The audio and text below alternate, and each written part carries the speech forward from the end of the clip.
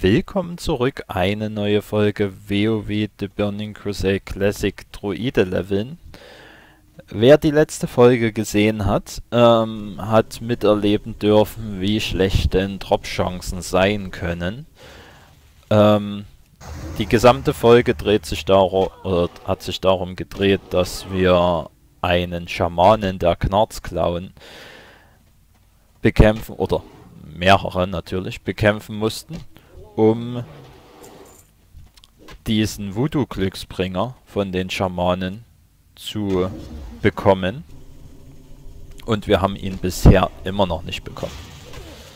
Also da ist noch nichts erfolgt. Die Druidin hier scheint das gleiche Problem zu haben, weil sie ist auch noch da. Der Jäger, der mal hier mit rumgelaufen ist, den habe ich nicht mehr gesehen.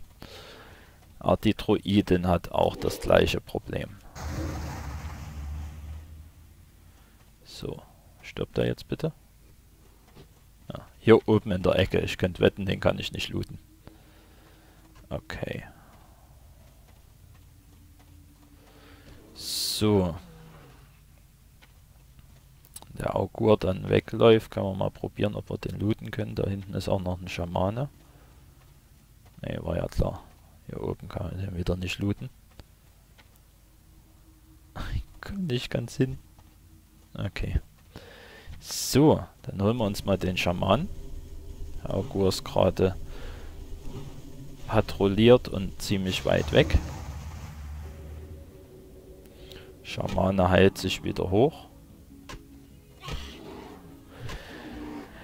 Ja, äh, hoffentlich schaffen wir es in dieser Folge. Das heißt, ihr könntet auch die letzte Folge äh, übersprungen haben, hättet nichts verpasst, außer dass wir ein paar Erfahrungspunkte gesammelt haben.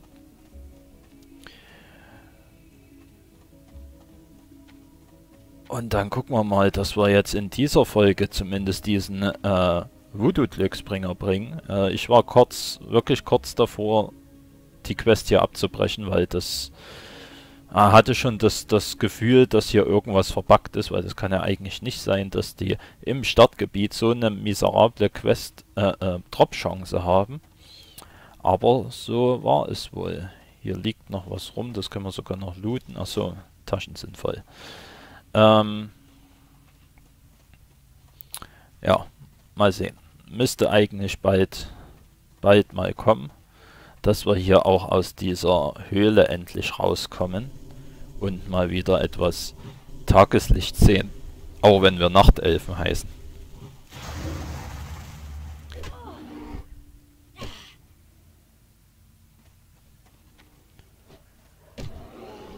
So, jetzt tauchen erstmal wieder nur Verteidiger auf. Hier ist wieder ein Schamane, okay. Unsere Haltbarkeit auf 67% runtergetroppt ist natürlich auch dem geschuldet, dass wir einmal gestorben sind in der vorletzten Folge.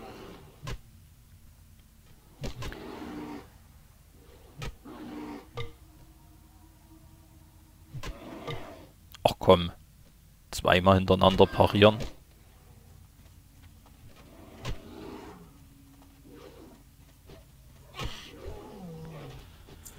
Dann hat er nicht mal diesen Glücksbringer bei sich.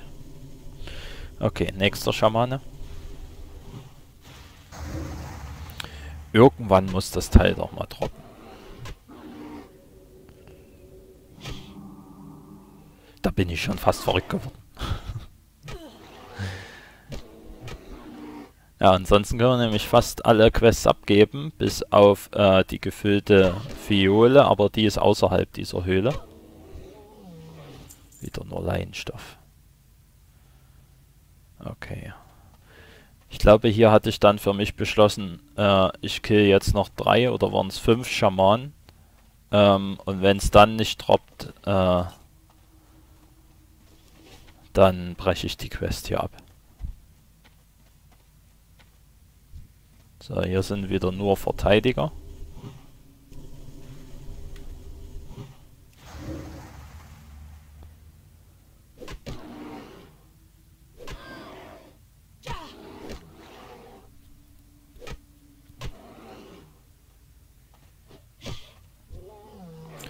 Müssen wir uns erstmal wieder durch die Verteidiger durchkämpfen, bevor wir hoffentlich auf einen nächsten Schamanen treffen.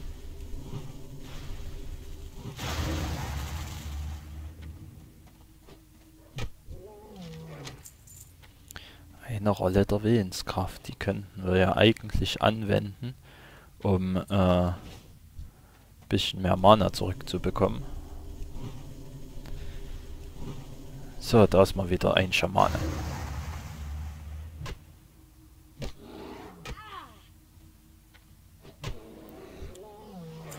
Wieder nix. So, was ist hier respawned? Ein Verteidiger. Noch ein Verteidiger. Mal kurz Mana wiederherstellen. Haben wir auch wieder einen Taschenplatz mehr.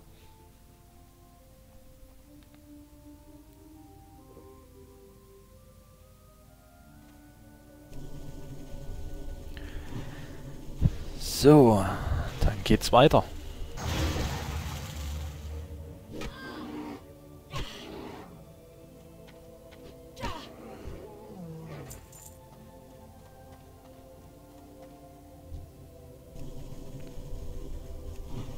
Glaube, da um die Ecke dürfte wieder ein Schamane stehen.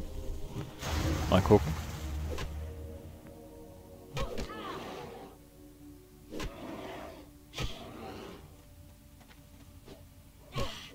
Ne, ist auch ein Verteidiger, okay. Dann wieder in die andere Richtung und nachschauen, ob Schamanen gerespawnt sind.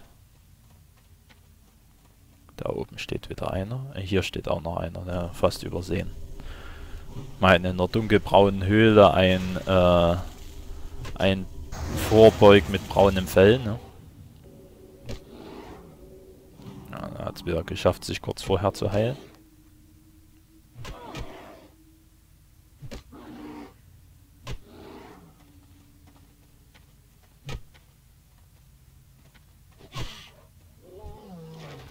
Ne, Rolle der Willenskraft, das ist nicht der Anhänger. So, hier war doch gerade noch ein Schamane. Dahin. Oh. Einfach verschwunden. Denn jemand gepult. Ah, da, okay. Okay, so. Ah, da ist einer weggerannt quasi müssen jetzt warten, bis er wieder auf seinen Ursprungsplatz ist, weil der hier die ganze Zeit jetzt auf Entkommen wäre. Ähm so, jetzt können wir ihn wieder angreifen.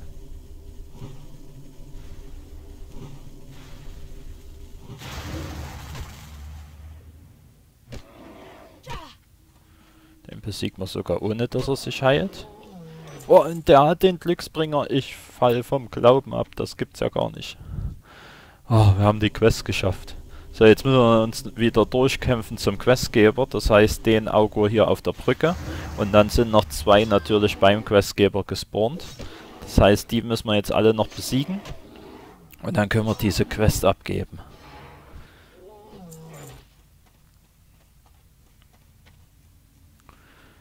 Das war jetzt äh, bestimmt 40 Minuten.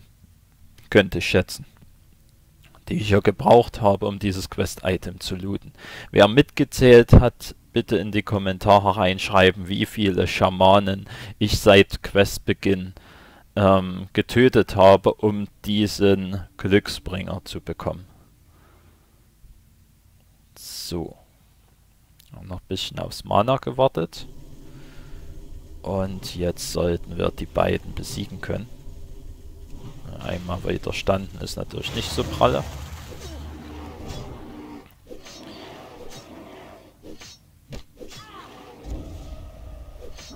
So, wir warten jetzt, bis wir uns hochheilen können. Den einen besiegen wir jetzt noch schnell, dann heilen wir uns hoch. So, und jetzt können wir den zweiten in Ruhe besiegen. Durch den Fluch machen wir natürlich im Nahkampf jetzt äh, gar nicht mehr, oder kaum mehr Schaden. Und so Mal der Wildnis heißt noch drei Minuten, das werden wir dann auch mal au nachbuffen.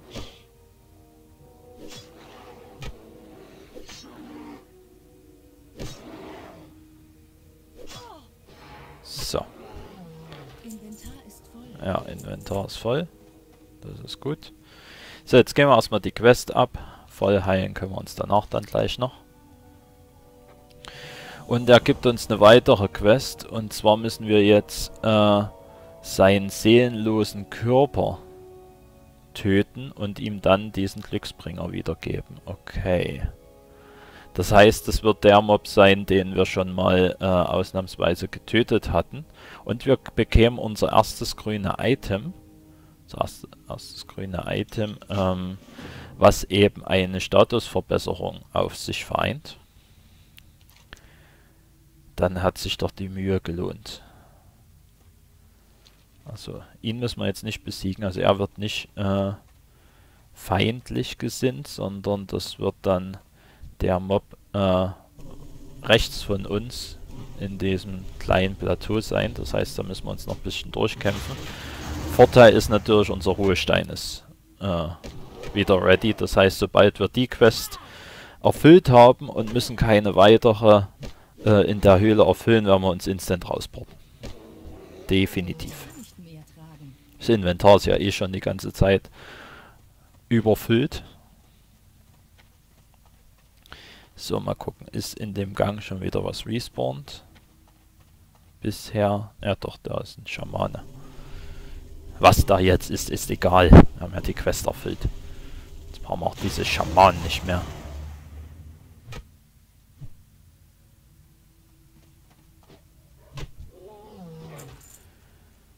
So. Dann haben wir hier noch einen Verteidiger. Ah, und da läuft schon der Zorntling herum. Äh, Zornklaue heißt der. Ah, jetzt kommt von hinten noch der Respawn, alles klar.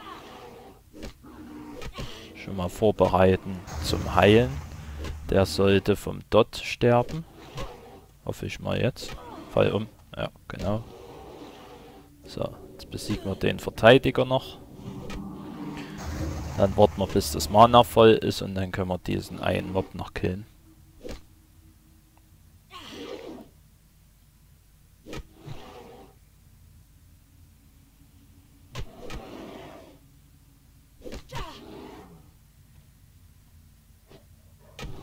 Okay. Ja, der Crit kommt natürlich genau dann, wenn, wenn er gar keiner mehr benötigt ist. So, wo ist der? Müsste jetzt hier eigentlich gleich rumkommen. Da läuft er entlang. Okay, wenn er dann wieder von der rechten Seite kommt, haben wir volles Leben und volles Mana. Das heißt, dann können wir ihn auch angreifen. 307 Rüstung. Sollte ausreichen. So, da kommt er wieder angelaufen. Wir warten noch so, dass wir nicht zu, zusätzlich noch einen der Verteidiger da hüben noch adden. Das heißt, ein bisschen warten, bis er umgelaufen ist. So, da kommt er. Ja, wir haben ihn mit vollem Mana angegriffen. Also schon halbtot, wenn er bei uns ankommt. So. Dann hauen wir mal das Bärchen um.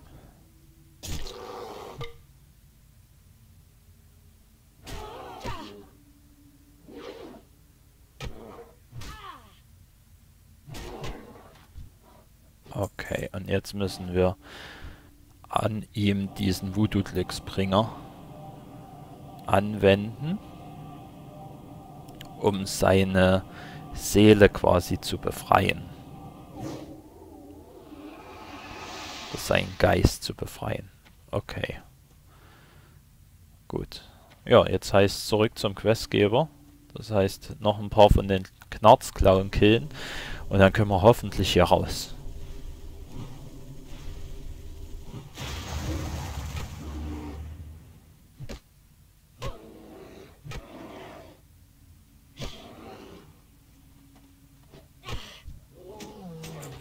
Holzfällerbeil. Äh, Äxte kann ein Droide leider nicht tragen.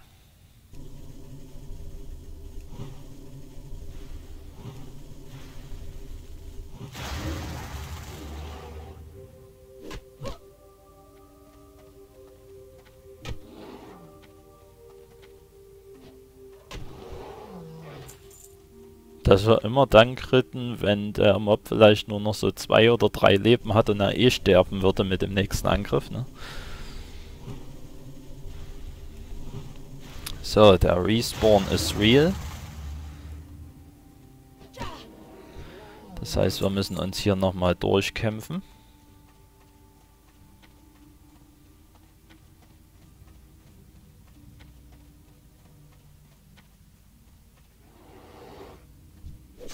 Das Gute bei den Auguren ist, dass sie eben nicht, nicht flüchten. Das heißt, äh, wir brauchen keine Angst haben, dass wir hier unnötig Mobs noch dazu adden.